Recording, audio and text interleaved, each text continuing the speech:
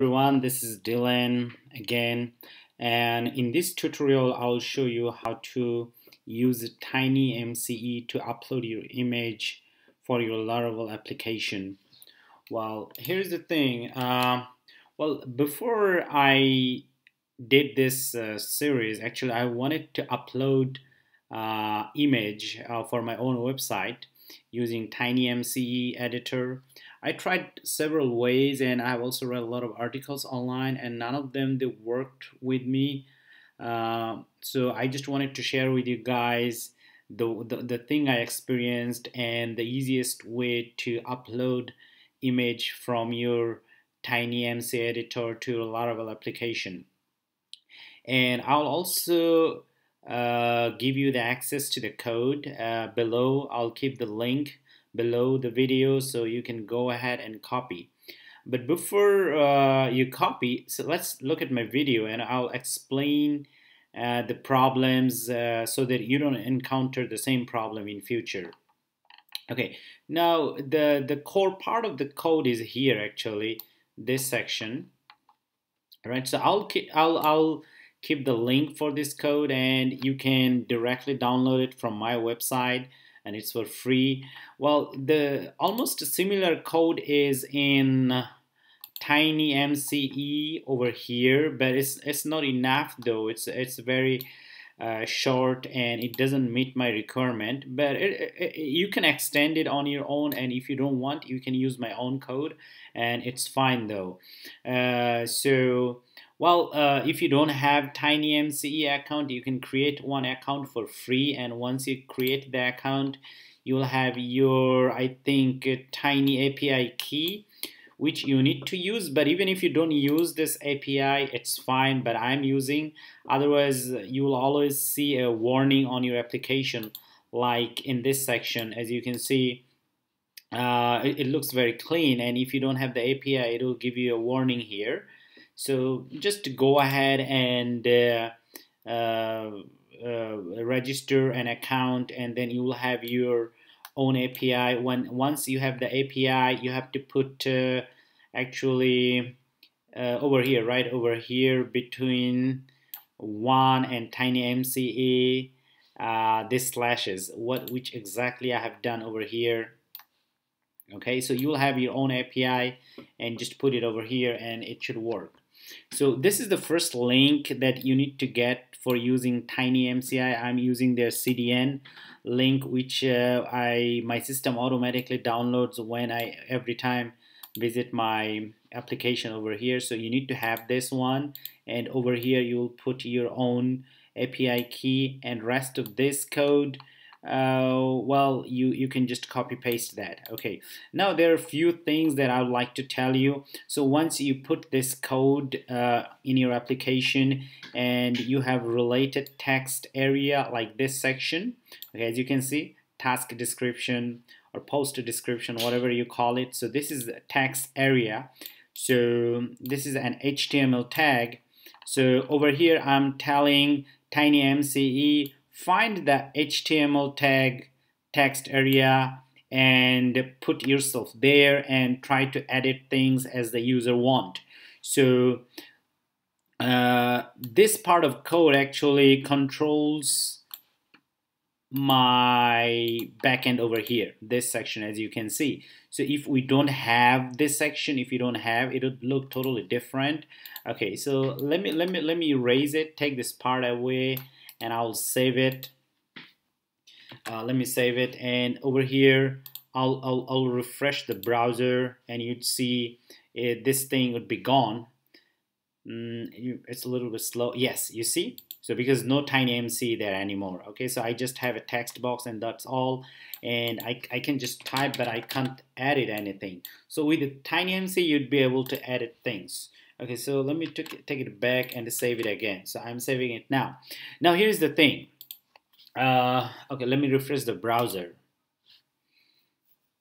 Mm, it, it may need a few seconds because I'm over VPN, so it might be a little slow though. Yes, cool. Now it showed up as you can see. So once you have this thing, you'll have a button, I think like this, like over here. Uh, but um, because I just uh, re uh, reduced the size of the browser so it looked a little different but it doesn't matter though.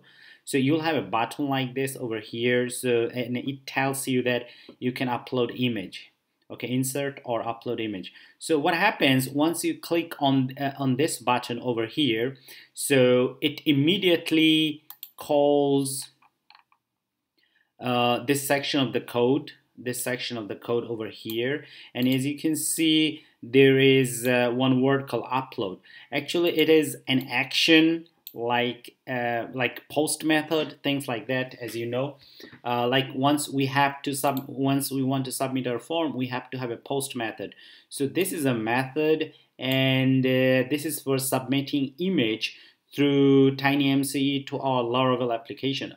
Of course this action method could be anything uh, as you want in my case I wrote it upload you can even write it uh, uh, upload it now okay so so this action is described in your controller.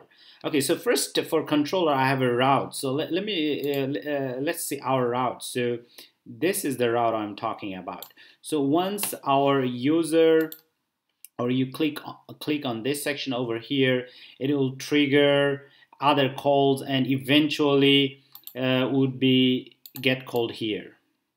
All right, yes. So let's see what happens. So I'll, I'll click it here. And now, well, this is my favorite way of up uploading increments. So browse for an image. So uh, let, us browse an image, so a random image, it doesn't matter, okay? So now what's happening, it's uploading image. So yes, it already uploaded the image, all I have to do, I have to save it. So at this point, at this point of this work, uh, what happened? Let me uh, walk you through. So it called this uh, route and uh, and later on route called upload method. Well, the method could be anything. So I called it upload here and upload here, but it's up to you. So, so where is our upload function? So upload function is in post task controller. So it's over here. So this is the function it got called and it uploaded image. So what happens? Again, one more time. Uh, let me walk you through. So we, we, we, we clicked on the uploaded image button just now and over here and then it uploaded an image and now image uh, name is a random name generated. And over here we have uh, as you can see uh, actually these are folders names storage and uploads. And where are they coming from? Actually they're coming from here. Okay, so in general, when you, you upload an image, you want to put them in the public folder. And especially if you use a store method in Laravel, store method in general calls the public folder uh, or stores images in your public folder. And uh, well, this public folder actually has to do over here. Let's see. Actually, this public folder is over here. Okay, so it's uh, uh, under storage. It's under storage folder. So storage, public, and then I have another folder. It's called uploads. But this uploads, this folder, you could name anything. Actually, this is the name I gave my uh, folder here. So for example, you name it images. So you should have another folder here called images instead of upload. But now here's the interesting thing. If Laravel finds out there is um, uh, your folder name, say images, it's not here. So Laravel will automatically create this uh, folder for you. So don't worry about that. And over here, you have this public. So public means that uh, I'll, I'll, Laravel will uh, store your images over here in this public folder over here okay uh, so now we need to uh, return the path uh, so that our TinyMCE gets it and embed the link in the editor so to do that you, all you need to do write this section over here. Uh, and don't forget to write the folder name storage folder name. Again this is because of this one. It's uh, it's uh, in the subdirectory of this storage. So this storage has to do this storage. uh, name. They're the same thing. Uh, uh, uh, definitely the, the, storage this folder is automatically created in laravel when you install the laravel. So this is something that you don't you can't change it. The only thing you can change here this uploads name again you can name it images or my images or photos whatever you want. But once you have a different name you have to have a name over here. But first actually you want to name it here and then Laravel will create a folder for you over here within the same name using the same name.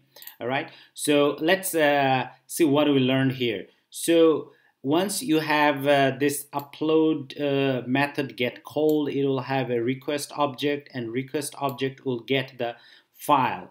And this file uh, has a name. The file name is file. So actually it's coming from here.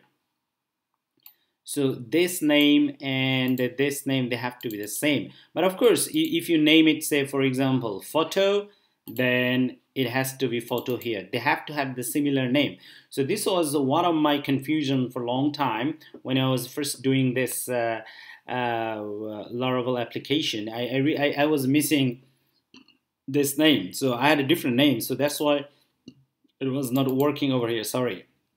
So remember, uh, your name over here and name over here they have to have the same name and this is the folder you want to mention. That would be in your storage folder. And storage folder is like a public folder. Public folder means when you store method store method in general stores uh, images in public folder.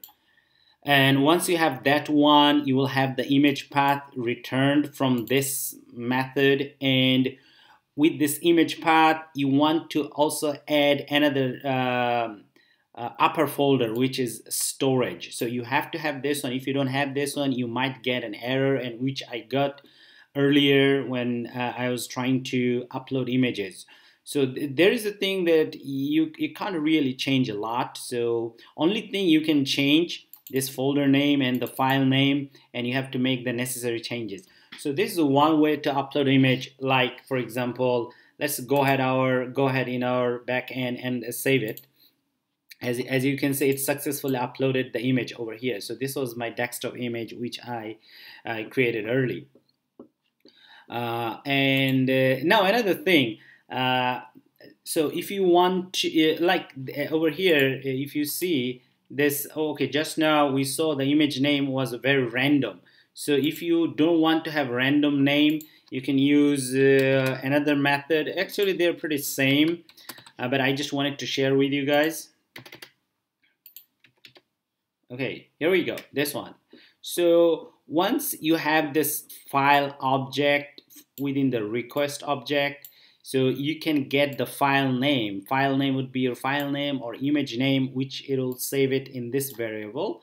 And then instead of using store method over here, you can use store as method.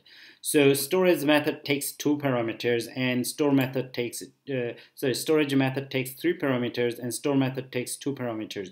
So again, this is the, this is a folder within your storage public folder. You can name it anything. This is the file name, which we have re retrieved earlier over here.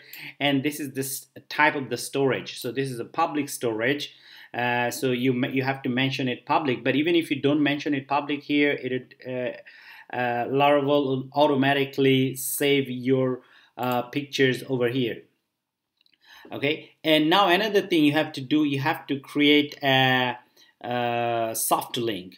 So in general, when uh, when your Laravel application from your blade, from your blade, I means like like blade like this or any any kind of static any kind of HTML uh, looks for image actually it does look over here public storage actually. So over here actually uh, public storage okay? But then Laravel will uh, redirect it over here public. So storage public over here. And then um, it will look for images in your created folder like uploads. Okay? So uh, that's why you have to create a link uh, from public storage to over here. And to do that you need to run this command like uh, this one actually uh, php artisan storage link. And if you don't run this command you you you won't be able to upload images there and it'll fail. So uh, if uh, you can do it actually once um, you have code like this ready. Okay code like this. Yeah. And after that you can create the symbol link. It's fine. Or even you can create a folder first here whatever the name it is. And then you run this command and it would work pretty much the same way uh, so over here we learned two things. One thing is that if you want to um, save your file name then you can use uh, first section over here. Or if you want to save the file name as a random file name then you can use this section. So one thing again uh, let me tell you.